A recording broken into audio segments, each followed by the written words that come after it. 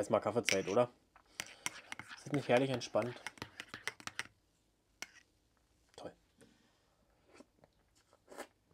So. Ah, mehr Milch wie Kaffee, so mag ich das. Lecker. Einen wunderschönen guten Tag und herzlich willkommen zu diesem neuen Video und damit zum Unboxing der MFB Pro Box für den Monat Mai. Ich bin sehr gespannt, was wir hier haben. 40 Euro kostet die Box, gibt es auch in einem günstigeren Abo, allerdings dann verbunden mit einer längeren Laufzeit. Ich bin sehr gespannt, was wir hier haben. Ja, der Monat Mai, hm. In vielen Bundesländern ist der Hecht wieder frei, bei uns tatsächlich schon einen Monat länger. Ich wüsste jetzt tatsächlich nicht, was ich jetzt hier speziell erwarten würde. Das hört sich natürlich auch an, als ob ich nichts erwarten würde, wenn ich eine Pro-Box aufmache. Aber ihr wisst ja, glaube ich, wie ich das meine. Also ködertechnisch ja, kann man jetzt theoretisch alles fischen. Schöne kleine Köder, um halt Brutfische zu äh, simulieren, imitieren, imitieren meine ich, nicht simulieren, Simulant. Ähm, und natürlich auch große Hechtköder, also theoretisch passt hier irgendwie alles gerade rein. Ne? Deswegen schauen wir mal, ich bin sehr gespannt und dann würde ich mal sagen, schnacken wir nicht noch länger und legen einfach los.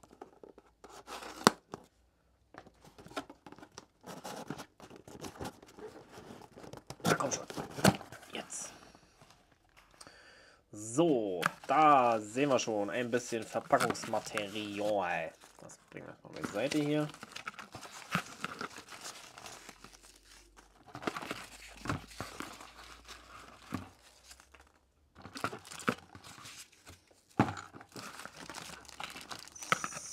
So. Dann haben wir, wir fangen gleich oben an mit dem, was am größten, größten ist. Den Jerk Spiker. Von welcher Firma? Hm. Ach, da oben. Von A Duster. Another one bites the Duster. And another one's fine. And another one's fine. Another one's bites the dust. Dum, dum, dum, dum. Ja, kennt ihr das Lied, oder? Geiles Design. Also, der sieht ja richtig geil aus. Ich habe auf den Köder tatsächlich noch gar nicht raufgeguckt. Ein Authentic Designed and Universal Standard Tackle for Anglers steht da drauf. Der sieht richtig geil aus. Also da muss ich schon sagen, vom Design her, puh, Manometer. Den packe ich jetzt mal aus. Also wenn der mal nicht aussieht wie ein Barsch, dann weiß ich auch nicht. Geiles Teil. Ah. So. Da ist er. Ui, der ist aber echt hübsch, oder? Manometer. Also der ist vom Design her wirklich gelungen. Also das Einzige, was hier natürlich fehlt, ist eine Schwanzflosse und halt die anderen Flossen, die so ein Hecht halt hat. Aber von der Farbe her, mega Teil. Ein mega Teil. So, was haben wir hier? Äh, Lauftiefe 0 Meter bis 1,5 Meter. Und ähm, Suspending ist er und ja. Schönes Ding. 130 mm natürlich lang, 21 Gramm schwer steht natürlich drauf. Und das war's. Cool, gefällt mir sehr gut. Einmal frei.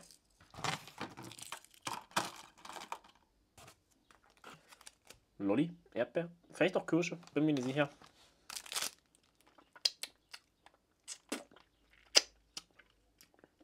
Wenn ich an Himbeeren denke, ist es Himbeer. Könnte auch Wassermelone sein. Nein. Ich glaube, es ist Erdbeer. Erdbeer. So, dann haben wir hier die Rückkehr der kleinen Tütchen mit einem äh, MFB-Label drauf. Das haben wir ja schon eine ganze Weile nicht gehabt. Ähm, also so ziemlich, vielleicht mal zwischendrin, weiß ich aber tatsächlich gar nicht mehr. Aber das war tatsächlich vor Jahren ich sag mal so fast Standard, ne? Also was so ähm, in den Boxen waren halt sehr viele einzelne Gummifische, haben wir lange nicht gehabt, aber jetzt äh, hat es hier mal wieder Einzug gehalten. Ja, vielleicht ist es was Besonderes, was zum Ausprobieren. Newsheft liegt jetzt natürlich hier nicht mehr bei, schon lange nicht mehr, da haben wir ja immer die digitale Version. Packen wir mal aus. Das sieht hier auch auf jeden Fall aus wie Weston, würde ich mal sagen. Ähm, von der Form her, dieser normale Tees, allerdings mit einem anderen Schwanz. Ich weiß jetzt nicht, wie der heißt. Ich glaube, ein Curl Tees ist noch was anderes. Ja, also ein Twister-Schwanz, zwei verschiedene Größen. UV-aktiv. Ja, beide irgendwie ein bisschen. Ja. Typischer Westing-Geruch. Mal gucken, was wir da noch haben. So, dann haben wir hier von Weston den Blade Bite. Ja, das ist ja mal äh, interessant. Natürlich ein Shatterbait von Weston weiß ich nicht, haben die das schon länger im Programm? Habe ich nicht den Überblick. Ähm, sieht interessant aus. Tungsten auf jeden Fall. Bladed Jig nennt er sich hier. Ich habe nämlich gelernt, dass es äh, Shatterbaits ist ein, äh, wie soll ich jetzt sagen, ein geschützter Begriff, den darf man nicht, darf nicht jeder benutzen. Ich weiß aber nicht mehr, wer es war. Ähm, das muss ich jetzt nochmal dazu sagen. Ich bin mir jetzt gerade nicht sicher, wer äh, das erfunden hat. War es vielleicht Siemens? Ah, könnte sein, weiß ich nicht genau. Ja, aber hübsches Teil hier auf jeden Fall. Sehr interessant hier mit einer durchsichtigen Tauchschaufel, in Gelb gehalten hier. Schöne Fransen dran in verschiedenen Farben. Äh, wir haben 14 Gramm hier. Und äh, Tungstenfarbe nennt sich hier Yellow Spark. Ja, cool. Gefällt mir sehr gut. UV-aktiv, aber sicherlich. Also wenn der nicht UV-aktiv ist, dann weiß ich auch nicht. So, dann würde ich mal sagen, packen wir den doch mal aus. Der sieht doch so interessant aus, dass ich den mal auspacken kann.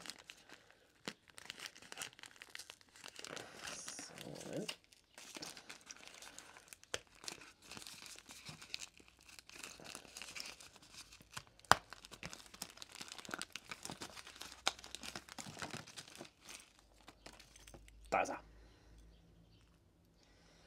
Sieht aus wie ein Fingernagel. ist aber tatsächlich das äh, Blade-Blatt. Sagt man das so? Blade-Blatt. Hier auch mal nicht mit einem Snap dran, sondern mit einem, äh, mit einem, wie sagt man es hier, mit einem Sprengring in Oval. Ziemlich cool. Glänzender Haken. Cooles Teil. Gefällt mir sehr gut. Ja, mal was anderes, ne? Und so durchsichtig hatten wir auch noch nicht. Neues Verpackungsdesign hier von Weston fällt mir auch sehr gut. Sieht ein bisschen ja, natürlicher aus und ein bisschen, ja, wie sagt man hier, äh, hier Recycled Paper, also quasi äh, aus Altpapier gemacht. Das war das, was ich gesucht habe. Genau. So, was haben wir noch? Wir haben hier was Kleines von MT Magic Trout River. Was heißt das? Trout, natürlich Trout. Ähm, 2,6 Gramm einen kleinen Spoon von Quantum. Genau. Auch jetzt ganz gut passend für die äh, Jahreszeit natürlich. Ähm, für Hubala. Ui, von hinten ein Kupfer. Für Barsche natürlich, für Forellen, für Döbel, für keine Ahnung, was man jetzt alles noch fangen darf. Äh, hier sieht man so das äh, Schuppenmuster durch. In der Stanzung, sage ich jetzt mal so. Sieht ein bisschen aus wie ein Kienapfel. Schon ein bisschen cool. Ja, wahrscheinlich nicht UV-aktiv. Nö. Ne, auch vorne nicht. Auch ganz cool. Ja, und für einen Spoon doch eine sehr runde, große Form. Ne? Ja, von Quantum. Ja. Copper Black heißt hier die Farbe. Weiter geht's. Kennen Sie jemanden, der Ranch heißt? So, von Rains haben wir hier auch noch was drin. Ein paar verschiedene Gummifische. Ein Mixed-Sortiment sozusagen. Barsch heißt das hier. Barsch All-Stars sozusagen. Schauen wir mal rein.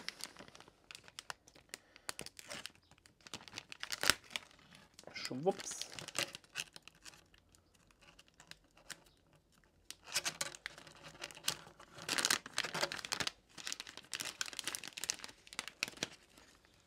So. Ui, ist aber voll. Ja, riecht sehr fischig auf jeden Fall. Also das ist auf jeden Fall so ein Fischaroma. Ja, da haben wir hier was mit, ja, so ein Keulen Pintail mit einem Twisterschwanz mit noch einem Twisterschwanz, ein bisschen dünner, mit einem längeren Twisterschwanz, mit einem Pedal Tail. Auch eine interessante Farbkombi hier eigentlich. Fällt mir auch cool, gut. Ein Craw haben wir hier mit drin, klein, irgendwas um die ja, 2, irgendwas Inch wahrscheinlich. Mit dicken Scheren, auch geil. Fällt mir sehr gut. Wieder was mit einem Twisterschwanz aus den 90er Jahren. Normaler Twister, äh, normaler äh, Pedal Tail hinten dran. Noch ein kleiner Craw mit etwas dünneren äh, ja, Scheren, Imitationen. Ähm, hier auch nochmal was ohne viele Fühler, dafür aber mit Scheren dran. Ein bisschen flacher. Finde ich geil. Also das, das mag ich auf jeden Fall hier. Da haben wir noch was. Hier mit so einer Dinger hier dran. Auch geil. Also tolles Barsch-Set hier natürlich.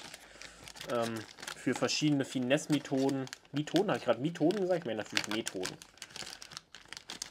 Ach, verdammt, falsch rum gemacht. Na, ist egal. Egal. So. Cool, äh, gefällt mir gut. Ja. So, was haben wir noch? Wir haben endlich mal einen Reigns-Aufkleber. Geil. Wir haben 10 Feet Under Aufkleber. Wir haben einen kleinen 10 Feet Under. Warum ist hier was von 10 Feet Under bei? Haben wir was von 10 Feet Under? Hm. Oder ist... Das ist doch Westin hier, oder? Warte. Das ist auf jeden Fall Westin. Also, wenn ich was kenne, ist es ein Shetties. Und das ist auf jeden Fall Westin. Ist da ein Westin-Logo? Kann man das sehen? Ich kann es nicht sehen. Das Licht ist so schlecht. Ich würde aber sagen, das heißt Westin. Aber wissen tue ich es nicht. Vielleicht irre ich mich auch. Vielleicht sieht man es hier besser. Klar, ist ja auch viel kleiner, der Köder muss man ja besser sehen. oh, hupala, runtergefallen. So, und dann haben wir hier natürlich noch von ähm, der Firma MyFishing Box, Post und Gewinne und natürlich individuelle Köderbox könnt ihr euch zusammenstellen. Konfigur, konfigur, konfiguriere deinen Boxeninhalt selbst. Genau. Und die Männerbox, die perfekte Box für den Männer- und Vatertag. Für alle beide Tage. Mit Gewinnspiel. Direkt zur Männerbox. QR-Code scannen, kommt direkt dahin, solange der Vorrat reicht, limitierte Stückzahl. Ja, kann man machen. Okay, ich bin mir jetzt tatsächlich nicht sicher, ob hier irgendwas fehlt in der Box. Den finde ich total geil hier. Das Mix-Paket finde ich auch sehr schön. Den äh, Shatterbait, den wir glaube ich nicht Shatterbait nennen dürfen, den finde ich auch geil. Wir haben Spoon mit bei. Wir haben nichts an Terminal Tackle bei. Ne? Also weder ein paar Jigs für irgendwas hiervon, noch ein kleines Dropshot-Set oder so. Das weiß ich natürlich nicht, preislich jetzt wahrscheinlich nicht mit reingepasst, darum ist es nicht mit drin oder es fehlt was. Ich weiß es wirklich nicht, ich habe nicht ins Newsset geguckt. Generell finde ich aber eine schöne Box eigentlich äh, mit einem Spoon und allen äh, anderen Sachen, die hier drin sind, kann man da äh, sicherlich schön mit losziehen. Terminal Tackle vorausgesetzt und äh, verschiedene Fischarten bejagen. Genau, dann würde ich mal sagen, äh, war es das für heute.